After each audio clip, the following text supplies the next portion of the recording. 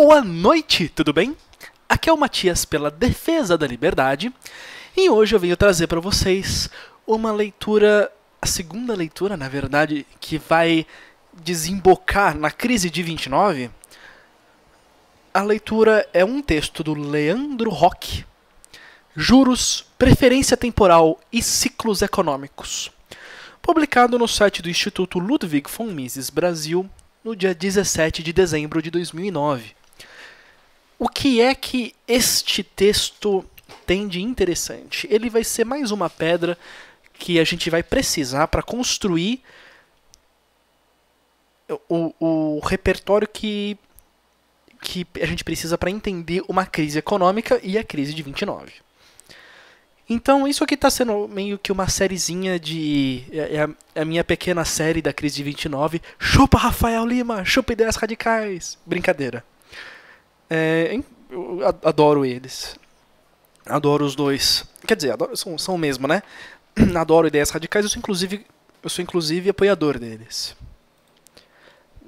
Vou lá, inclusive, ó, ó, Rafael, tô te ajudando, hein? se vocês puderem lá, meu, é 10 conto por mês. Não é, não é nada. Enfim, esse texto do Leandro Roque é muito bom, é muito legal. O Leandro Roque é um cara muito didático e ele usa o conceito de ciclos econômicos sempre. Então, alguns artigos que eu estou trazendo sobre o assunto são dele. É, vai ter mais alguns ainda. Vai ser no total uns 5, 6, leituras sobre crises, sobre ciclos econômicos, diretamente ligados a ciclos econômicos. E essa é a segunda delas. Eu estou separando elas de uma playlistzinha aqui. Acho que vai ficar mais, mais legal para vocês. Então, eu vou começar a leitura, espero que vocês gostem e depois eu tenho os meus comentários. O que você prefere? Ter uma televisão LCD agora ou só daqui a 5 anos? Um laptop hoje ou só daqui a 7 anos? Uma barra de ouro agora ou daqui a uma década? Caso você saiba dirigir e goste da liberdade de viajar segundo seu próprio horário, você preferiria ter um carro hoje ou só daqui a 10 anos? E ficar andando de ônibus até lá? Embora as respostas para as perguntas acima pareçam muito óbvias, sua implicação para toda a teoria econômica é incomparável. Trata-se da manifestação de um princípio básico da ação humana. O homem prefere o uso fruto de um bem no presente ao uso fruto desse mesmo bem no futuro. Esse é o conceito da preferência temporal. É esse fenômeno natural que explica por que os bens presentes possuem um valor maior, um prêmio, em relação aos bens futuros. E é esse fenômeno que fornece a origem e a justificativa para o pagamento de juros. O fenômeno da preferência temporal, que é observável em inúmeros aspectos da vida humana, é na verdade uma simples questão de bom senso. O homem prefere uma dada quantia de um bem no presente à mesma quantia desse bem no futuro. Mas ainda, somente uma maior quantia desse bem no futuro pode persuadir o homem a abrir mão desse bem no presente. Afinal, as pessoas não tratam uma dada quantia de um bem no presente e a mesma quantia desse bem daqui a alguns anos como sendo o mesmo bem. Por exemplo, mesmo que não houvesse inflação, as pessoas não consideram 100 reais hoje e 100 reais daqui a 10 anos como sendo o mesmo bem.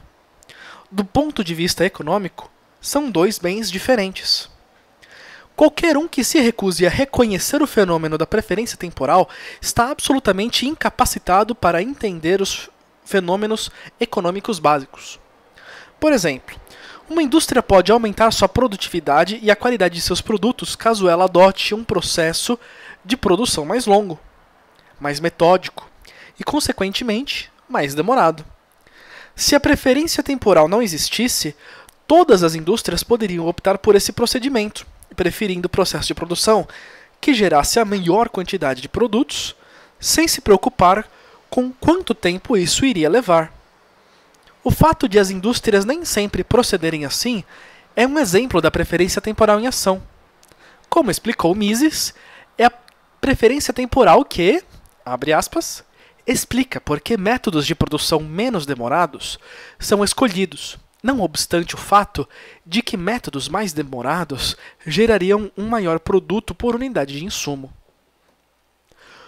Outro exemplo prático da preferência temporal em ação, e do qual poucas pessoas se dão conta, é o preço de um pedaço de terra. Se a preferência temporal não existisse, o preço de qualquer pedaço de terra produtivo seria infinito. Por quê? Porque se não levássemos em conta a existência da preferência temporal, esse pedaço de terra teria de ter hoje o mesmo valor que teria no futuro, após ter produzido várias colheitas. Assim, o preço da terra hoje teria de ser igual à soma de toda a sua produção durante todo o período futuro até o fim dos tempos. Assim, se fosse estimado que um determinado pedaço de terra pode gerar uma produção de 100 mil reais por ano, alguém que fosse comprar essa terra teria de pagar um valor equivalente a 100 mil multiplicado pelo tanto de anos que ele estimasse que faltaria para o mundo acabar a partir do momento de sua compra. O fato de ninguém precificar as coisas dessa forma indica a existência de preferência temporal. Aplicações. Tendo entendido a inevitabilidade da preferência temporal, o fenômeno dos juros fica mais claro. Como um bem futuro tem menos valor para você do que esse mesmo bem no presente, você só irá aceitar abrir mão desse bem no presente caso lhe seja prometida uma quantia maior desse mesmo bem no futuro. Por exemplo, suponha que você é o único habitante de uma pequena cidade a ter um laptop, o qual você usa diariamente. Eis que surge um empreendedor local e lhe pede emprestado esse laptop por, digamos, três anos para que ele possa utilizá-lo como capital para fazer algum investimento. Você só vai aceitar abrir mão do seu laptop por 3 anos caso esse empreendedor lhe prometa pagar, após esse período de 3 anos, um valor que seja maior do que o valor presente do seu laptop. O mais natural é que você exija, além da devolução do laptop, o pagamento de um valor adicional. Se ele vai pagar em dinheiro ou qualquer outro bem que você queira, é o de menos. O fato é que você quer ser recompensado por ter de abrir mão do seu laptop no presente. Agora, suponha que você tenha dois laptops e esse empreendedor lhe peça emprestado apenas um. Nesse cenário, é provável que a recompensa que você cobre por esse empréstimo seja menor que no primeiro caso. Afinal, você tem um laptop sobressalente e não vai ficar de todo desprovido de seu capital. Ou seja, como havia uma maior abundância de capital, laptop, a ser emprestado, o preço cobrado pelo empréstimo de uma unidade foi menor. O custo de se abrir mão dessa segunda unidade é menor do que no primeiro caso. Consequentemente, quanto maior for seu capital disponível para ser emprestado, menor o valor que você exigirá por, ab por abrir mão de cada unidade essa, eu tenho que voltar nesse parágrafo para comentar sobre ele depois. Não me deixem esquecer. Expandindo esse exemplo para a economia de toda a cidade, fica mais fácil perceber como a preferência temporal coordena os juros e como isso se reflete no processo de crescimento econômico. Por exemplo, imagine que os habitantes da cidade são indivíduos poupadores.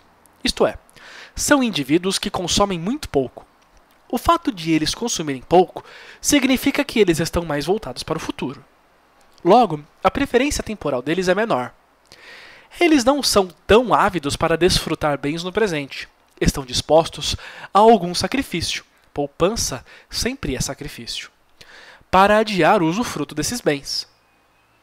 Justamente por consumirem pouco, por terem uma preferência temporal baixa, eles permitem que haja mais bens disponíveis para serem emprestados e aplicados em processos de investimento. Uma preferência temporal baixa gera uma maior abundância de bens livres para serem emprestados.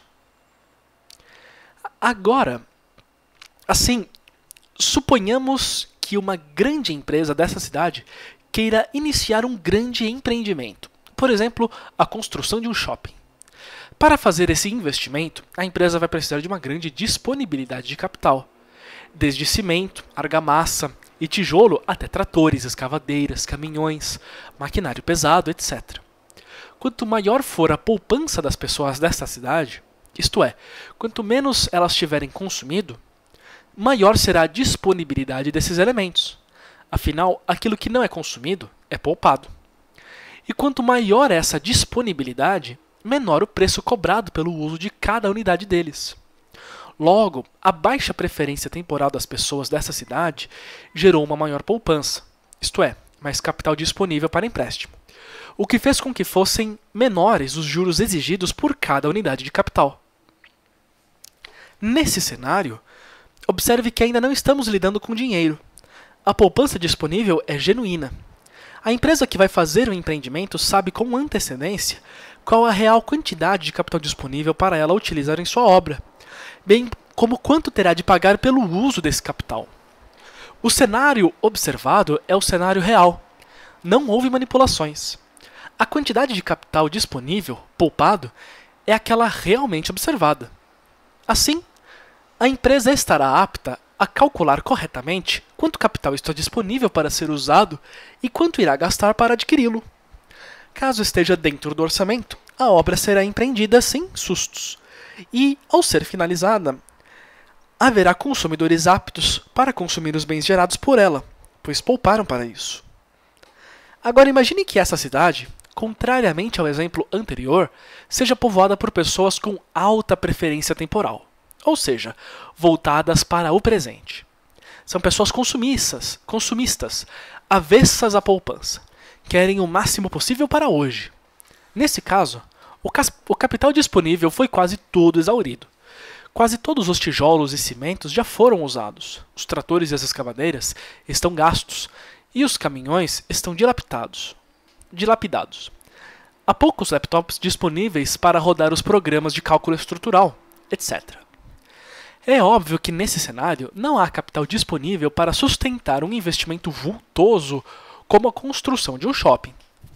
A empresa que fosse fazer tal empreendimento rapidamente seria demovida da ideia ao ver a escassez de capital disponível.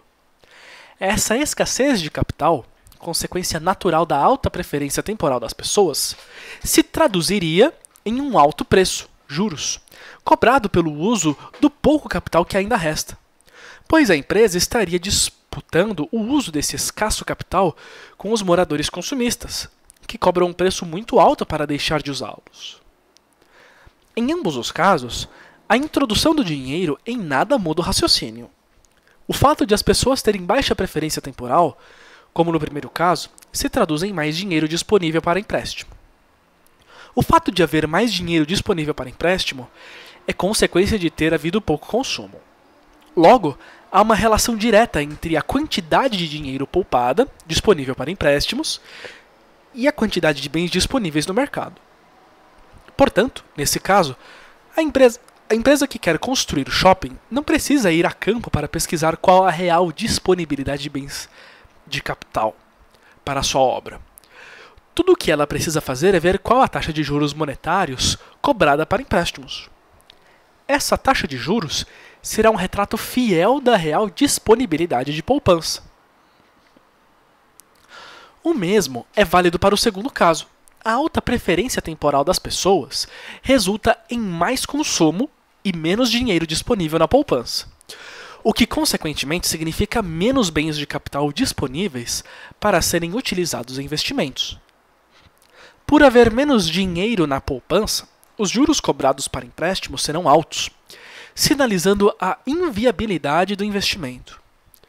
Ambos os cenários relatados acima mostram como os juros funcionariam num ambiente de genuíno livre mercado, onde não há manipulações monetárias, não há criação de dinheiro e não há manipulação de juros por parte de alguma autoridade governamental.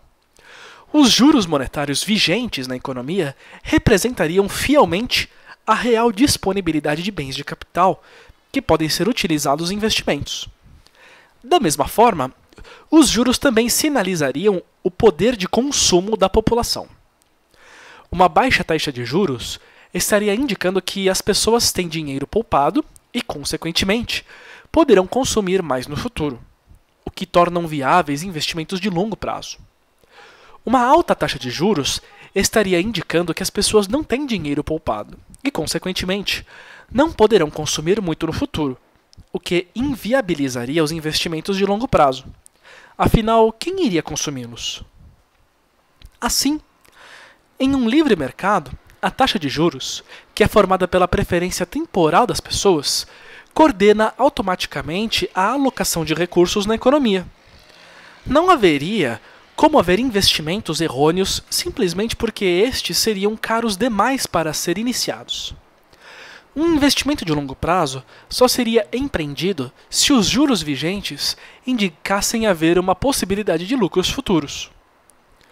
Como explicou Rothbard, em um mercado livre e desimpedido, a taxa de juros é determinada puramente pelas preferências temporais de todos os indivíduos que compõem a economia de mercado. A essência de um contrato de empréstimo é que um bem presente, dinheiro que pode ser usado no momento, está sendo trocado por um bem futuro, um título de dívida que só poderá ser utilizado em um dado momento futuro. Como as pessoas sempre preferem ter o dinheiro agora, ao invés da perspectiva de receber a mesma quantia em algum momento futuro, o bem presente sempre exige um prêmio no mercado em relação ao bem futuro.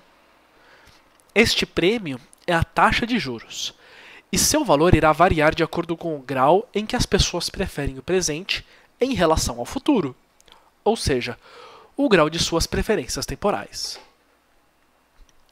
Como atrapalhar tudo. Insatisfeitos com a baixa taxa de poupança da população do segundo exemplo, os políticos locais criam uma entidade poderosa o suficiente para fazer parecer com que haja mais capital disponível para o empreendimento do que realmente há. Essa entidade, que vamos chamar aqui de Banco Central, é dotada do monopólio da criação de moeda sendo que ela pode alterar toda a quantidade de, dinheiro da economia a bel prazer.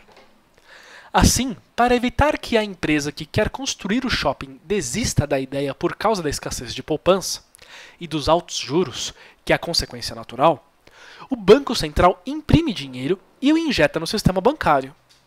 Essa maior oferta de dinheiro irá fazer com que o preço dele, os juros, caia. Consequentemente, animada com essa queda nos juros, a empresa agora passa a achar que vale a pena fazer a construção do shopping. Afinal, o investimento ficou barato e certamente trará lucros, futuros. As obras começam. Mas há aí um severo desequilíbrio econômico. A preferência temporal dos habitantes continua alta e eles continuam consumindo muito no presente. Logo, há menos bens de capital do que os juros fazem supor e de quebra, a empresa terá de disputar com a, com a população consumista esses bens de capital. No início do processo, a sensação é de prosperidade. A empresa está contratando, empregando gente, pagando salários e consumindo bens de capital. Os fornecedores ficam animados, pois veem um aumento das encomendas e de sua renda. O crescimento econômico parece sustentável. Com o passar do tempo, os desequilíbrios vão ficando evidentes. A escassez de bens de capital começa a ficar aparente. Os preços deles sobem. Essa subida de preços faz com que a empresa tenha de obter mais empréstimos para continuar adquirindo esses bens de capital. Com isso, os juros sobre os empréstimos sobem. O empreendimento vai ficando cada vez mais inesperadamente caro os bens de capital estão cada vez mais escassos. A espiral escassez de bens, aumento dos juros, vai se tornando mais intensa. Até que a empresa desiste e interrompe o investimento. Os trabalhadores são demitidos e os fornecedores são dispensados. A aparente prosperidade econômica revelou-se insustentável. Capital e mão de obra foram desviados para um investimento que não devia estar ocorrendo. O aumento do desemprego é inevitável. Instala-se a recessão, que é o período de se corrigir esse desequilíbrio. A fonte do problema é que a empresa iniciou o investimento voltado para o longo prazo, na crença de que havia capital suficiente para finalizá-lo.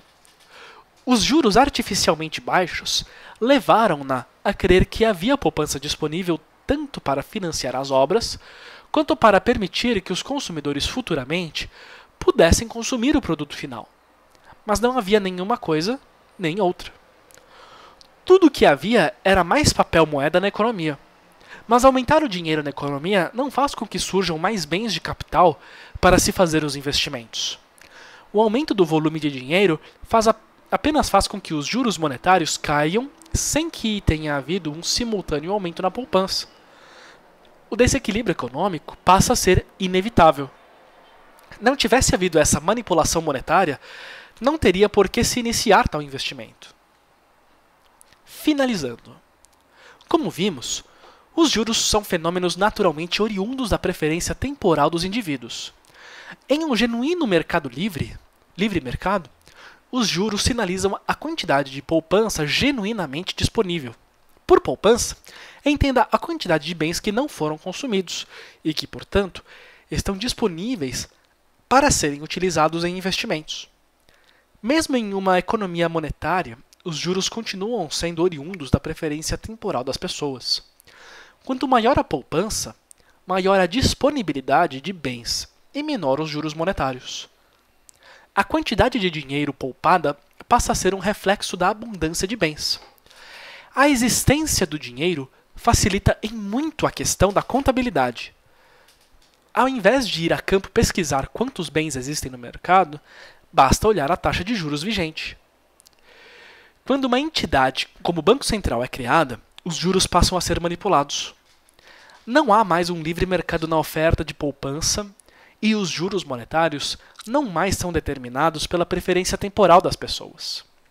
A manipulação dos juros por um banco central nada mais é do que um controle de preços, gerando escassez de capital, da mesma forma que o controle do preço do arroz faz com que esse produto suma das prateleiras os ciclos econômicos tornam-se recorrentes. Por fim, apenas uma consideração técnica adicional. No nosso atual arranjo econômico, no qual transacionamos com dinheiro e a incertezas futuras, embora a preferência temporal sozinha não determine os juros de mercado, juros de mercado são os juros bancários e não a taxa Selic, ela é um ponto de partida.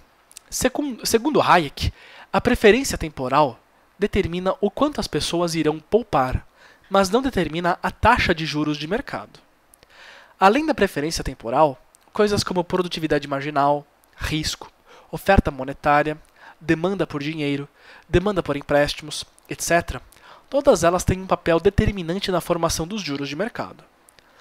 Mas se a taxa básica da economia, que é a taxa Selic, é manipulada pelo Banco Central, as chances de a taxa de juros de mercado refletirem adequadamente a disponibilidade de capital é praticamente nula.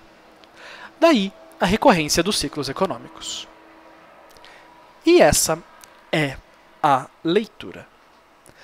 Eu vou voltar naquele parágrafo que eu falei lá no começo para falar sobre isso. Eu vou reler ele aqui, está destacado. Agora, suponha que você tenha dois laptops e esse empreendedor lhe peça emprestado apenas um. Nesse caso, é provável que a recompensa que você cobre por esse empréstimo seja menor que no primeiro. Afinal, você tem um laptop sobressalente e não vai ficar de todo desprovido de seu capital. Ou seja, como havia uma maior abundância de capital a ser emprestado, o preço cobrado pelo empréstimo de uma unidade foi menor. O custo de se abrir mão dessa segunda unidade é menor que no primeiro caso. Consequentemente, quanto maior for seu capital disponível para ser emprestado, menor o valor que você exigirá por abrir mão de cada unidade. Esse parágrafo ele é muito importante. Por quê? Primeiro, ele está falando o seguinte: quanto mais dinheiro você tem, quanto mais capital acumulado você tem, quanto mais poupança você tem, menor vai ser a sua exigência de juros para cada unidade. Então, se você tem um cara que é muito, muito, muito, muito rico e que tem muito dinheiro, porque ele tem muito dinheiro guardado, esse cara ele vai poder financiar outras outros empreendimentos, outros negócios com uma taxa de retorno e ele, e ele vai cobrar uma taxa de juros mais baixa. Isso é ou não é redistribuição econômica? isso daí é uma coisa linda que acontece, que é o seguinte, olha, o mercado, a, a preferência das pessoas, a, a, o próprio autointeresse das pessoas vai fazer com que os ricos, que as pessoas mais ricas, financiem projetos de pessoas com menos. Isso daí, isso daí é uma forma de redistribuição. Isso daí é o papel dos ricos na sociedade. Por isso que taxar os ricos é ruim. Por isso que você taxar dividendos, taxar herança, taxar, taxar todas essas coisas é ruim.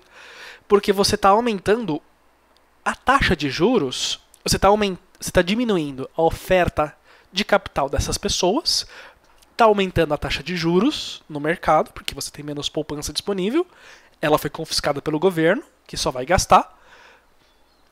E, por causa disso, menos empreendimentos vão ser possíveis, porque tem menos capital disponível.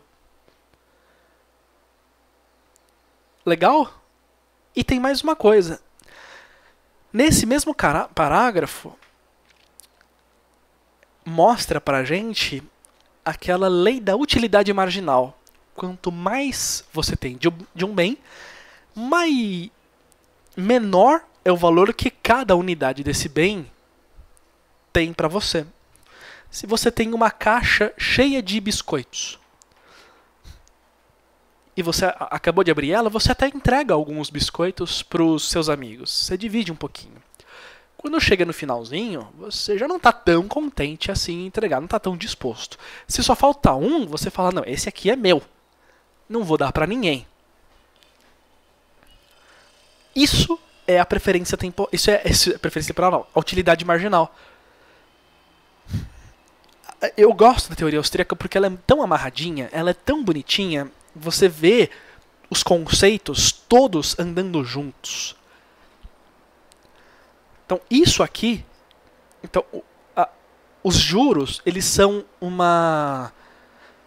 Os juros mais baixos de, que grandes empresas podem cobrar, grandes instituições podem cobrar, é uma consequência da sua preferência, da sua utilidade marginal. Ah, mas Matias, as, pessoas, as, as grandes empresas cobram, os grandes bancos cobram juros altíssimos. Sim, cobram. Só que, se eles tiverem ainda mais dinheiro, os juros vão cair. É isso que essa teoria está falando. Ela não está falando que os juros vão ser altos ou baixos. Ela está falando que quanto maior o capital disponível para você emprestar, menor vai ser o prêmio que você vai exigir, menor vai ser os juros que você vai exigir. Todo mais constante. Tem a ver risco, análise do projeto, do empreendimento, essas análises vão ficando mais complexas. Mas esse é um fator, um elemento comum a todos eles. E ele pode influenciar para cima ou para baixo.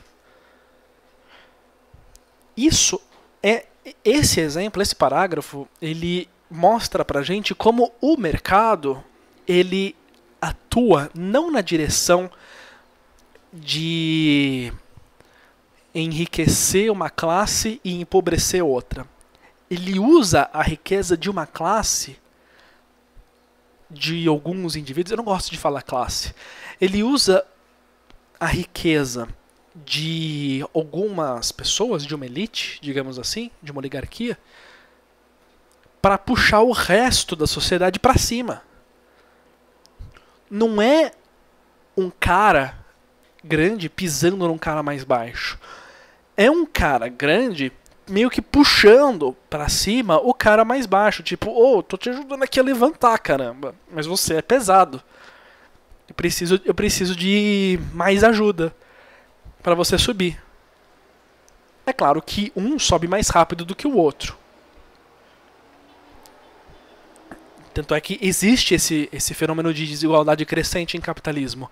Só que essa desigualdade ajuda a aumentar a pobreza, a diminuir a pobreza. Aumentar a pobreza. Diminuir a pobreza. Se tem um cara que está muito, muito, muito, muito rico, esse cara, por interesse próprio, vai fazer empréstimos, vai ter muito dinheiro, vai, vai ter muito dinheiro disponível para emprestar, vai cobrar juros baratos E esses juros baratos vão fazer a sociedade mais pobre, que está em volta, conseguir empreender, enriquecer, todo mundo vai sair mais feliz. Principalmente os mais pobres, que agora vão ter mais bens disponíveis, mais produtividade, um padrão de vida melhor, mais riqueza. E o que acontece quando você confisca o dinheiro desses, desse cara rico para distribuir para os mais pobres? Quando você confisca. Ele fala: Ah, eu não, eu não tenho mais tanto disponível, eu não vou emprestar tanto, eu vou emprestar mais um pouco e vou cobrar um juros mais alto, porque eu não tenho tanto. E o que, que você vai ter? Menos empréstimos, menos empreendimentos, menos riqueza e uma população emergindo da pobreza com mais dificuldade. Vai passar mais dificuldade. Então, por isso, por isso, esse parágrafo é lindo. É lindo, é lindo. Eu vou, eu vou emoldurar ele. Não conhecia ele. Eu espero que vocês tenham gostado da leitura. Espero que vocês tenham se divertido. Espero que vocês tenham se entretido. Temos mais vídeos falando de ciclo econômico vindo por aí. Vocês vão adorar. E uma ótima noite.